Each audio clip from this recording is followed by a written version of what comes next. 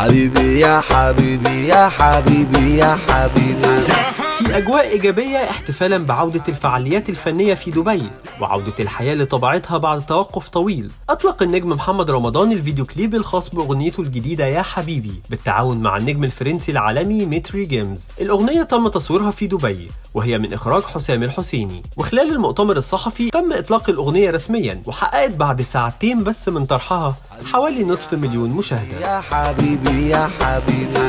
الكليب نزل و...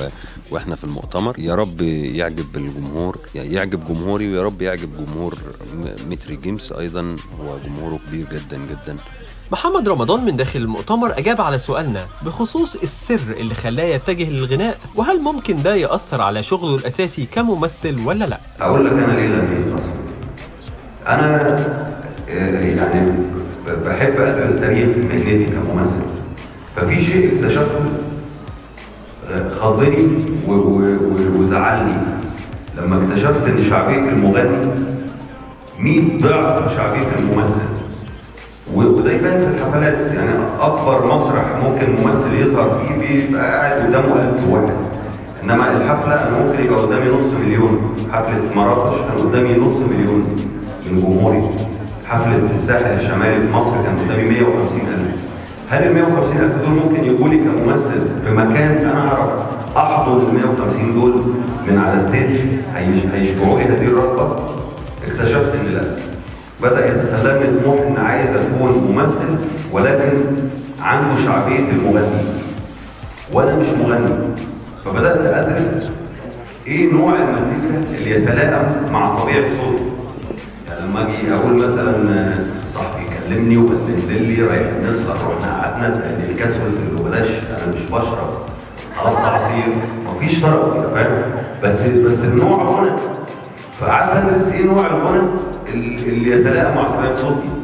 فده محتاج دراسة تقريبا سنة على ما خدت القرار ال- الغنى وكانت مغامرة كبيرة. ولن يفوز بلذات إلا كل مغامرون رمضان اتكلم كمان عن الانتقادات اللي بيتعرض ليها بصفة مستمرة. سواء على مواقع التواصل أو في وسائل الإعلام. الشخص لو بيجري وراه كلب سرعته بتضاعف. سرعته علميا بالقياس اللي هي بالقياس يعني آه، والشخص اللي عنده هدف وبيجري وقلت له في قطر لو ما لحقتوش هتموت هنا ومش هتوصل لأهلك. وقلت له الحق القطر سرعته بتضاعف. فأنا قررت إن أنا عايز يبقى بيجري ورايا الكلب وبجري قدام ورا القطر الكلب ده هم اللي بيحاول المتربصين. فوالله كل النقد بقراه كويس جدا ده عنايه وبكتب اسماء كل شخص نقدني نقد سلبي أو نقد محبط بكتب اسمه عندي أجندتين أجندة اسمها القائمة البيضاء وأجندة اسمها القائمة السوداء. وطول الوقت بعد كل أسبوعين ثلاثة لازم أقرأ دول ودول. أفتكر اللي دول قالوه. وافتكر اللي دول اللي أنا مش عايز أحبطهم ومش عايز وعايزهم يفتخروا بيا اللي هم في القائمة البيضاء ف ف ف فلا بحبهم الاثنين بشكرهم لأن الاثنين هم سبب السرعة اللي إحنا فيها. بعد المؤتمر كان لينا حوار قصير وحصري مع النجم محمد رمضان حسم فيه الجدل عن موضوع التنافس اللي بينه وبين النجم عمرو دياب خصوصا بعد تفوق رمضان على عمرو دياب من حيث أرقام مشاهدات الأغاني على يوتيوب وده بحسب التقرير اللي عرضته الصفحة الرسمية لجوائز World Music Awards مؤخرا.